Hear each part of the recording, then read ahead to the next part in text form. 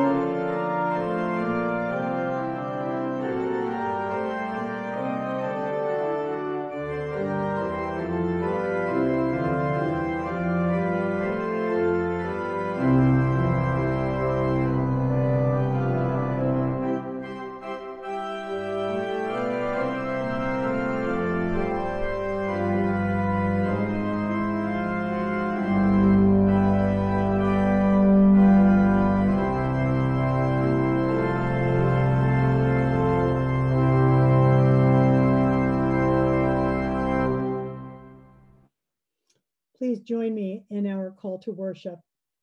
We are the people of God, marked by water, claimed by the Spirit, and precious in God's sight. We are the body of Christ, baptized into grace and reborn in mercy. Let us worship God, the giver and renewer of life.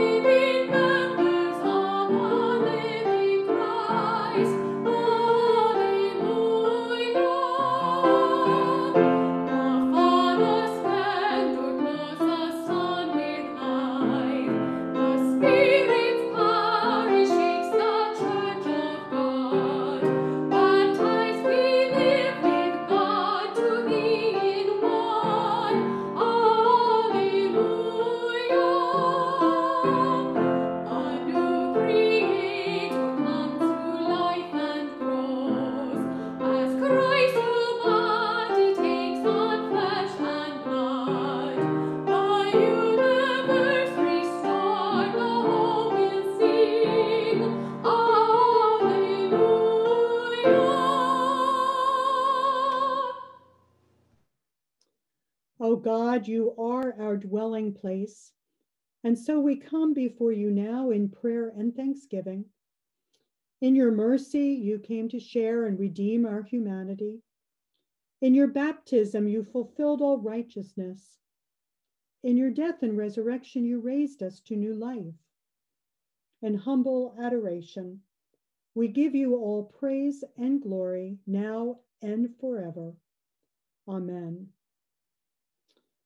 If we confess our sins, God, who is faithful and just, will forgive us our sin and cleanse us of all our unrighteousness. So, trusting in the steadfast love of God and Christ Jesus our Lord, let us first pray silently and then join together to pray the unison prayer of thanks of confession that's in the bulletin.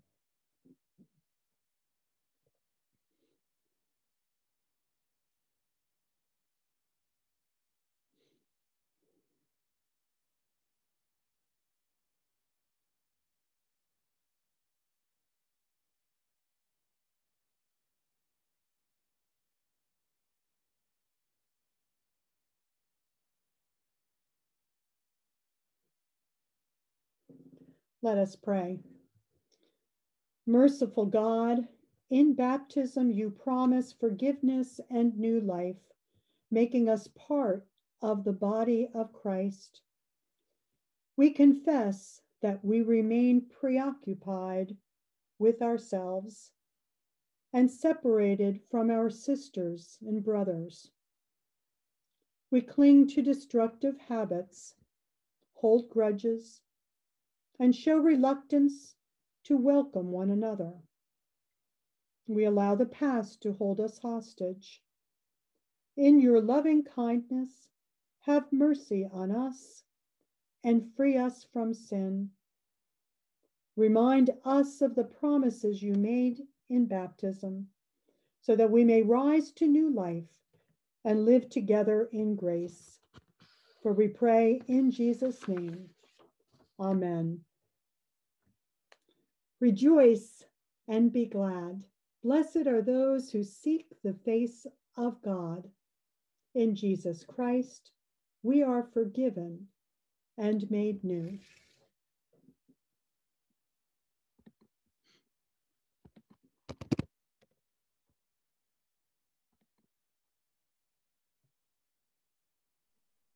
Hi, boys and girls. I've shared my baptism story before, but for those of you who may not have heard it or don't remember it, I'll share it again. I grew up in a Christian household with parents who instilled in me a love and passion for serving God. So when I was nine years old, I accepted Jesus as my Lord and Savior. And three days before my 10th birthday, my dad baptized me in our church. You see, baptism is a symbol of laying down our life of sinful ways and raising to new life in Jesus Christ, or we actively seek to live and love like he did. And baptism is an act of obedience. God asks this of us after we become Christ followers. Even Jesus was baptized, not because he sinned, but because he was being obedient to God. Many of you have been baptized, either as a baby or a child or a teenager, and that's wonderful. And if you haven't been baptized yet, definitely talk to Pastor Jean or me about this because we would love to help you become baptized and continue serving the Lord. So, no matter what, as we walk through life, continue to be faithful and obedient to God, and you will see Him do great things through you. Let's pray. Dear God, we thank you for baptism and the opportunity to know you and be obedient to you. Help us continue to walk in faith every day. Amen. Our scripture reading this morning is from the Gospel of Matthew, chapter 3. Listen to the word of our Lord. In those days, John the Baptist appeared in the wilderness of Judea proclaiming, Repent, for the kingdom of heaven has come near. Then the people of Jerusalem and all Judea were going out to him and all the region along the Jordan. And they were baptized by him in the river Jordan, confessing their sins. Then Jesus came from Galilee to John at the Jordan to be baptized by him. John would have prevented him, saying, I need to be baptized by you, and do you come to me? But Jesus answered him, Let it be so now, for it is proper for us in this way to fulfill all righteousness. Then he consented. And when Jesus had been baptized, just as he came up from the water, suddenly the heavens were opened to him, and he saw the Spirit of God descending like a dove and alighting on him. And a voice from heaven said, This is my Son, the beloved with whom I am well pleased. This is the word of our Lord. Thanks be to God. Please pray with me. O Lord, may the words of my mouth and the meditations of all of our hearts be acceptable in your sight. For Lord, you are our strength and our Redeemer. Amen.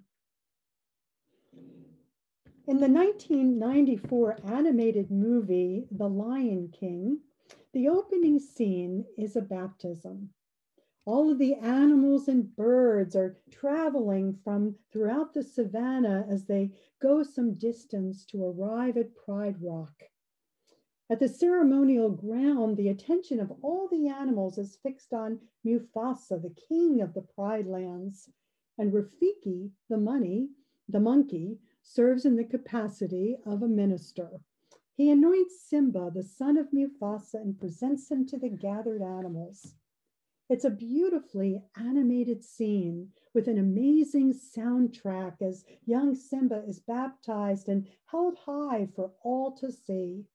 Quite an occasion, but it's nothing compared to the baptism of Jesus. When Jesus is baptized, the heavens open and the Spirit of God descends upon him like a dove. He alights on him, and a voice comes from the heavens This is my Son, my beloved with whom I am well pleased. Now, my baptism wasn't quite like that, and I have a hunch yours wasn't either. I did get to wear a long white dress, but there was no processional, no soundtrack, no voice coming from the heavens. In fact, in the Protestant faith, the act of baptism is deceptively simple. In a sense, it's a commissioning service it's to prepare us for what lies ahead as we are engrafted into this body of Christ together with other Christians who have a stake in our spiritual future. And when the water is placed on our forehead, it's a mark of the Spirit of God descending on us, just as it did on Jesus. But why water? Why something as commonplace as that for such a momentous and life changing event? Well, of course, Jesus often used the ordinary to communicate the extraordinary to us. Common things like water, bread, and wine were used to reveal God to us. And in this case, the water from the Jordan River was used to change lives, to turn people around, to help them change direction from one way of living to another. When folks heard about John the Baptist preaching at the Jordan, they flocked to him.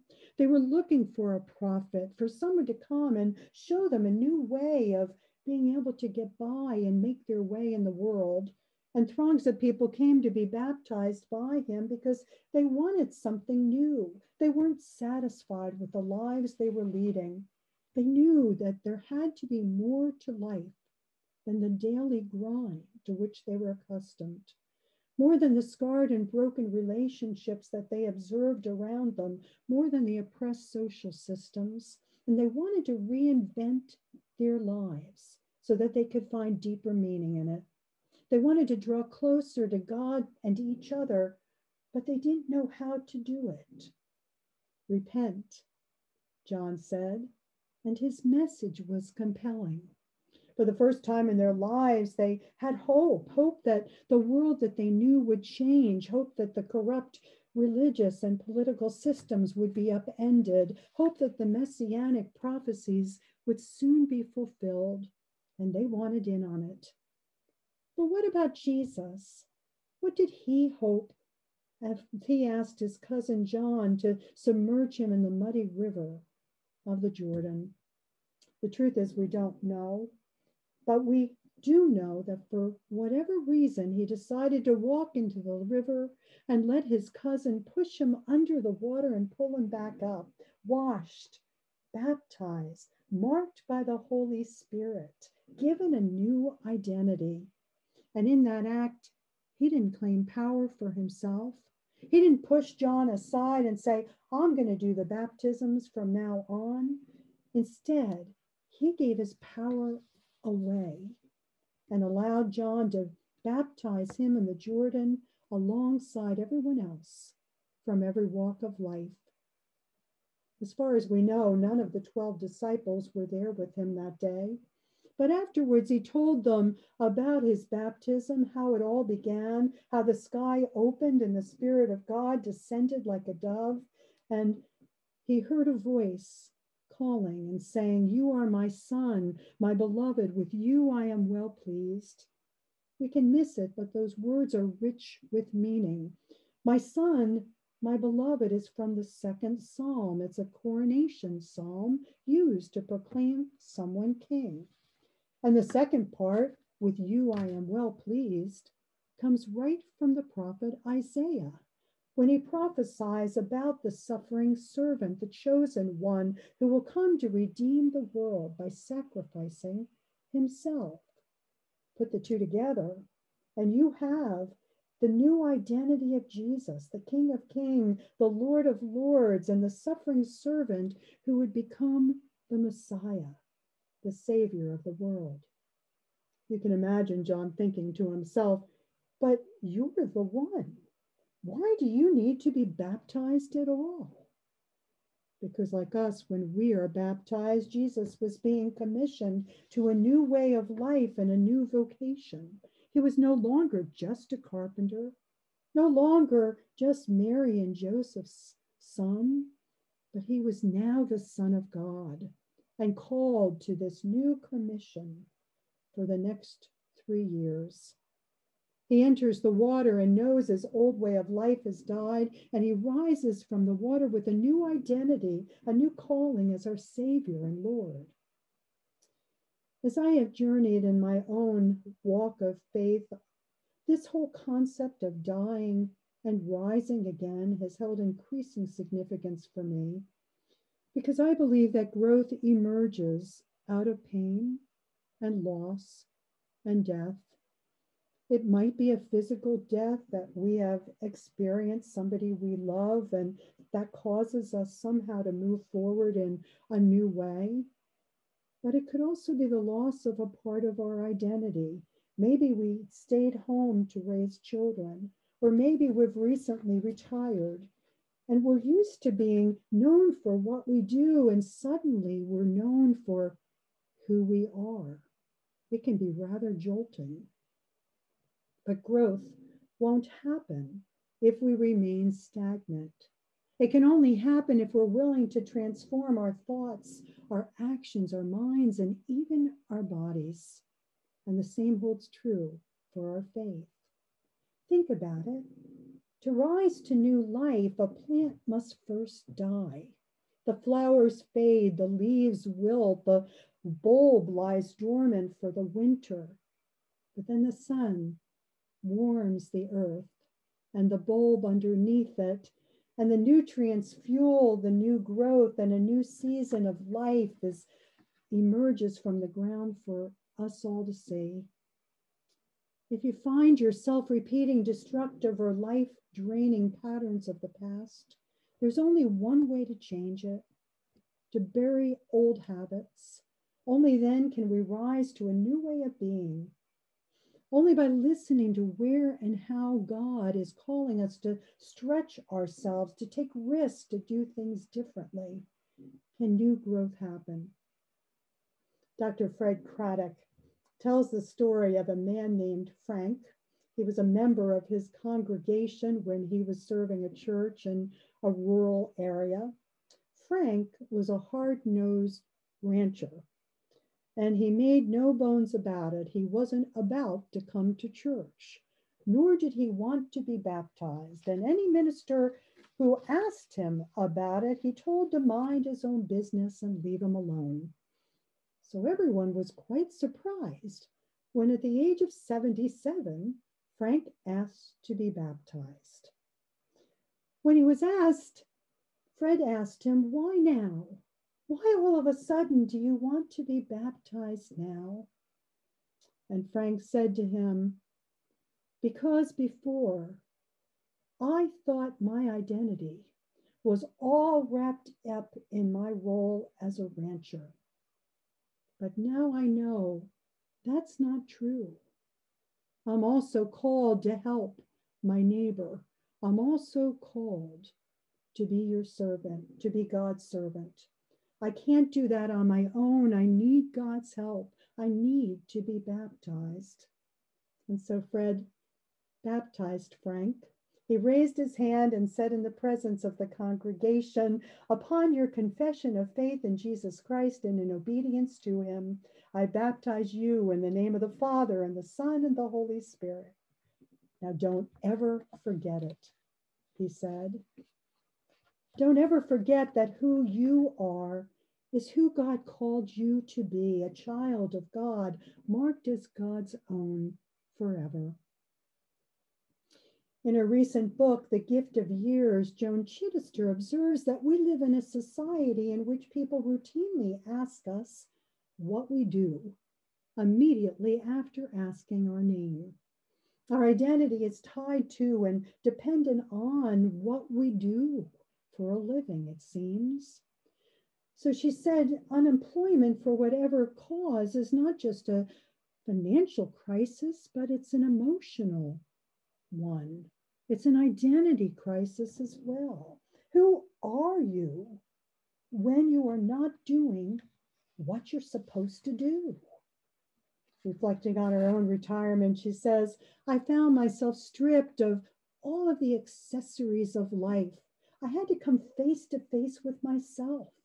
And the fear was that there wasn't a self left. I've spent my life being somebody important, and now there's nothing left but me. I no longer run anything. I'm not becoming anything. I'm just me. And it's precisely at that moment, she says, which comes to all of us sooner or later for whatever reason, that we need a life giving word. You are my child, my beloved. That is your identity. Don't ever forget it. Later in the movie The Lion King, Simba runs away because he's deceived into believing that he's the one who was responsible for his father's death. And he lives a life that's far removed from the life that he was intended to live as the son of the king and as the rightful heir to the throne. Rafiki, the one who baptized him at the beginning of the movie, finds Simba and attempts to convince him to come back home.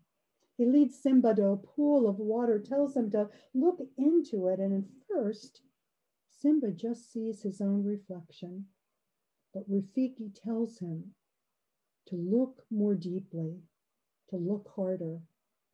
When he does, Simba begins to see his reflection transform into the reflection of his father. And Rafiki says, You see, he lives in you. That's what God's Spirit declares to us when we are baptized. Now Jesus lives in us. We can see his reflection in us if we look hard enough. Others can see that reflection too if we own our identity and live into it. And the more we take on Christ's identity, the clearer that reflection becomes. As Simba sees his father's reflection, he hears his father's voice say to him, You have forgotten who you are, and so you have forgotten me. Look inside yourself, Simba. You're more than what you have become. Remember who you are. So, hear those words this morning. Wherever you are on your journey of faith, whatever's happening or not happening in your life, whether you're facing surgery or grieving a loss or worried about your job or wondering if you're doing the right thing, or simply wondering who you really are. Hear those words from God, those life giving words. Fear not. I have called you by name. You are mine. You are my beloved my child, marked as God's own forever. That is our identity. May we never forget it. In the name of the Father, and the Son, and the Holy Spirit, thanks be to God. Amen.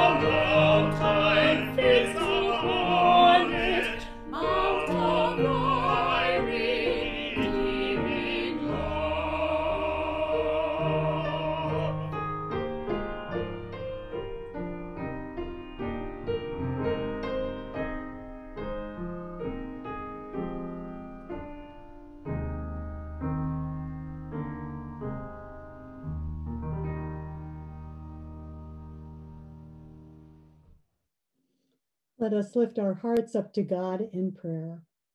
The Lord be with you and also with you. Lift up your hearts. We lift them up to the Lord. Let us give thanks to the Lord our God. It is right to give our thanks and praise.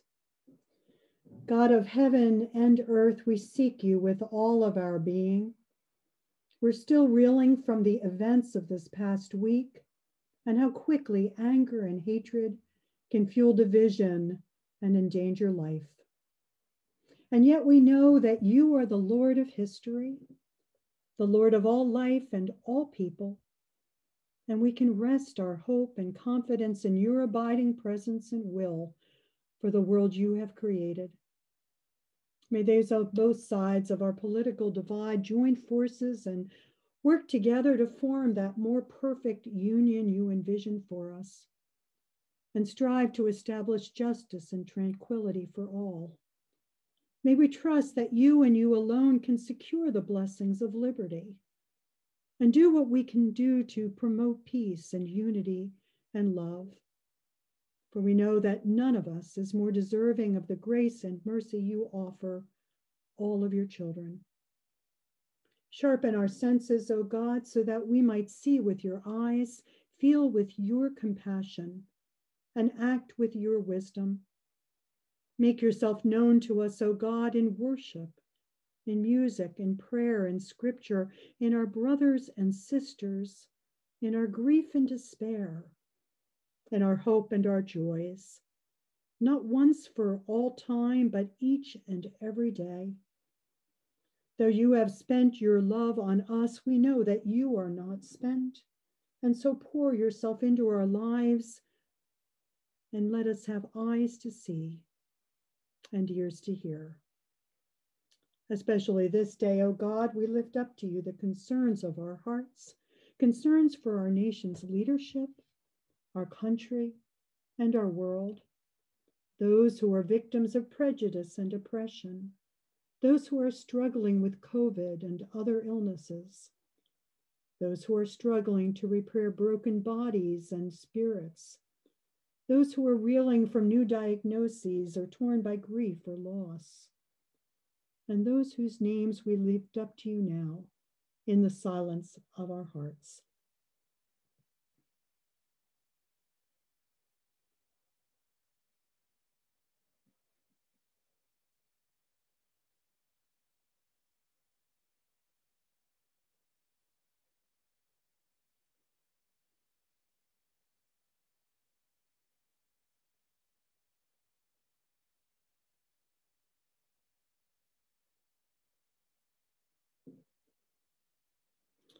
The Lord, pour your life giving spirit through each one of us and those we have named and those we haven't named. Fill them with your peace, your strength, your mercy, and grace in the days ahead. Through the power of your Holy Spirit, soften the fear and the hatred into reconciliation and forgiveness, and bring peace where there is hostility and unity where there is discord. Help us to place our trust in you alone as the Lord of our lives. Lord, you are our lifeline, so help each of us make you the Lord of our life. For we pray all of these things in the name of the one who taught us to pray, saying, Our Father, who art in heaven, hallowed be thy name. Thy kingdom come, thy will be done on earth as it is in heaven. Give us this day our daily bread, and forgive us our debts as we forgive our debtors. And lead us not into temptation, but deliver us from evil. For thine is the kingdom and the power and the glory forever. Amen. And now go with our Lord's benediction. May the blessing and mercy and love of God our Creator, Jesus Christ our Redeemer, and the Holy Spirit our Sustainer be with you all this day and forevermore. Amen.